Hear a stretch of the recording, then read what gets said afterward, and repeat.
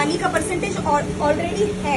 एकदम सॉफ्टली ये ऐसे बैंड बेंड हो रहा है देखिए ये देखिए ये तो टूट भी गया। ये देखिए ऐसे हो गया। इस तरीके से हो रहा है। बनने जा रहा है यहाँ पे। तो आज हम कोकोनट ऑयल खोबरे का तेल कहीं इसे गरी का तेल कहीं इसे गोले का तेल। हर राज्य में अलग अलग भाषा के नाम से इस कोकोनट को जाना जाता है खोबरे को।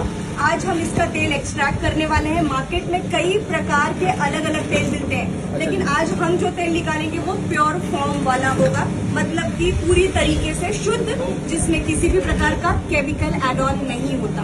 हमने 25 किलो कोकोनट लिया है और अब हम इसे वन बाय वन इसी तरीके से डालेंगे। वैसे कौन सा कोकोनट है इसकी वेरायटी पूरी कोकोनट के नाम से जाना जाता है। सारे कोकोनट तो साउथ से ही आते हैं, पर कहते हैं ना, हर प्लांट हर जगह के मिट्टी के, पानी पानी सब अलग अलग होता है तो हर कोकोनट की अपनी क्वालिटी होती है और मिठास होती है। तो राजापुरी कोकोनट, ये मीठा होता है, इसके तेल जो ऑयल एक्सट्रैक्ट होता है, उसमें एक अलग ही प्रकार का एरोमा और खुशबू होती है।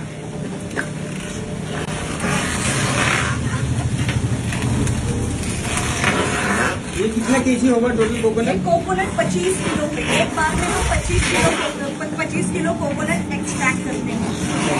और इसमें कितना ऑयल एक्सट्रैक्ट हो जाएगा? ये इसमें आपको कम से कम fifty eight fifty five percent is the maximum extraction value जो परसेंटेज कहते हैं वो फिफ्टी फाइव परसेंट होता है।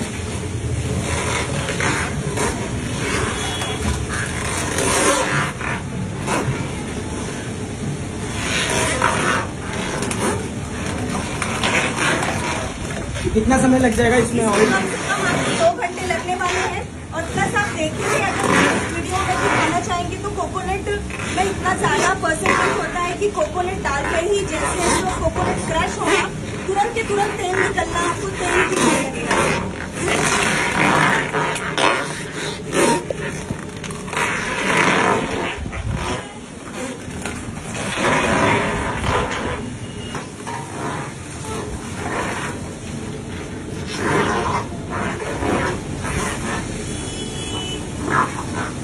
तो रोशनी जी बाहर कोकोनट ऑयल होता है, ये तो एडिबल ऑयल भी होता है, इसको मॉलिश के लिए भी यूज़ करते हैं। उसमें और इसमें क्या है? कोल्ड प्रेस ऑयल में क्या फ़र्क बहुत सारा फ़र्क है जो मार्केट में मिलता है। वहाँ पे आपको स्पेसिफाई बताया जाता है कि ये हेयर ऑयल है या फिर मसाज पर्पज के लिए लेकिन हम जो तेल निकालते हैं वो आप और मल्टीपर्पज के लिए यूज़ कर सकते हैं मतलब कारण जो भी हो तेल एक ही है क्योंकि वो शुद्ध है आप उससे खाना बना सकते हैं आप अपने चेहरे पे स्किन पे बॉडी मसाज कर सकते हैं as a hair oil use कर सकते हैं। आप ओरल हेल्थ के लिए भी अच्छा होता है। कोकोनट ऑयल ओरल हेल्थ के लिए अच्छा होता है लाइक आप माउथ कूलिंग के लिए यूज़ कर सकते हैं। जैसे गाड़ी की एक एग्ज़ाम्पल देना चाहूँगी, जैसे हम गाड़ी की ऑयलिंग करते हैं। हम क्यों करते हैं? क्योंकि हमारी गॉड- के पार्ट्स अच्छे हैं। ठीक उसी तरीके से हमें हमारी बॉडी की भी ऑयलिंग की ज़रूरत होती है। मतलब शरीर में तेल की ज़रूरत है। डॉक्टर कहते हैं कि तेल कम खाना चाहिए। मैं भी इस बात से सहमत हूँ कि कम तेल खाना चाहिए, लेकिन अच्छा तेल खाना ज़रूरी है। जो मार्केट में आपको मिलता है, वो तेल बिल्कुल अच्छा नहीं होता।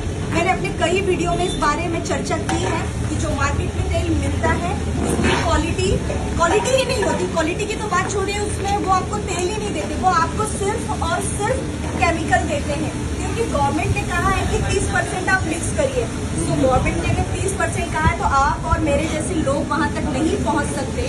कि ऑयल मैन्युफैक्चरिंग कंपनी जो है वो कितने परसेंटेज मिलावट कर रही है? एक्चुअली वो मिलावट ही करती है, वो आपको ऑयल देती नहीं है। जो भी काम होता है केमिकल पाम और जैसे कोकोनट ऑयल है इसमें पैराफिन नाम का केमिकल एड ऑन होता है आपको बताना चाहूँगी। ये आप समझ भी नहीं पाएँगे।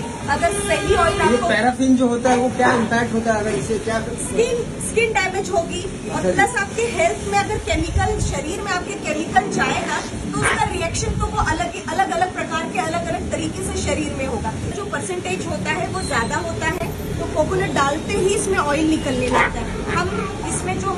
वाटर ऐड होगा बहुत नॉमिनल सा थोड़ा सा ऐड होगा सिर्फ़ थोड़ा सा नेचुरल फ़िल्टर करने के लिए क्योंकि बाहर का जो क्लाइमेट है ऑलरेडी बारिश का है तो जो कोकोनट आ रहा है मार्केट से वो बहुत ये देखिए मैं हाथ से तोड़ तोड़कर आपको दिखाऊँगी इट्स वेरी सॉफ्ट नॉर्मली जब ये देखिए एक हाथ से तोड़ा तो इतना मुड़ गया अगर मैं दोनों हाथ से इसको करूँ तो इजीली इस तरीके से। मतलब नरम है एकदम इसलिए इसमें पानी का परसेंटेज ऑलरेडी है। एकदम सॉफ्टली ये ऐसे बैंड बेंड हो रहा है देखिए ये देखिए ये तो टूट भी गया। ये देखिए ऐसे हो गया इस तरीके से हो रहा है। तो इसमें ऑयल का पस, पानी भी इसमें ऑलरेडी मॉइस्चर होता है तो पानी बहुत नॉमिनल डालना पड़ता है। और जो ये तेल निकलता है क्लाइमेट पे भी काफ़ी डिपेंड होता है। अगर बारिश है तो नॉर्मल सा ऐड होगा। ठंडी है तो न के बराबर ऐड होगा। हाँ जब गर्मी अब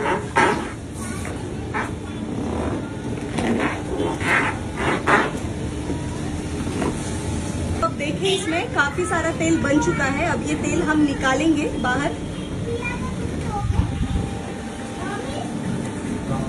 मतलब ऑलमोस्ट ये रेडी हो रेडी चुका हो। चुका निकालेंगे और उसके बाद ये बर्तन में आएगा। फिर फिर से ये जो वेस्ट है धीरे धीरे इसमें डालते रहेंगे। सो ऑयल निकलते रहेगा एक समय आएगा कि ये जो वेस्ट है पूरी तरीके से ड्राई हो जाता है। तो आप देखेंगे कितना एकदम क्लियर सा तेल है। मशीन में ऑन भी कर दूँगी और आपको देखने को मिलेगा। पूरा शुद्ध नारियल का तेल आ गया।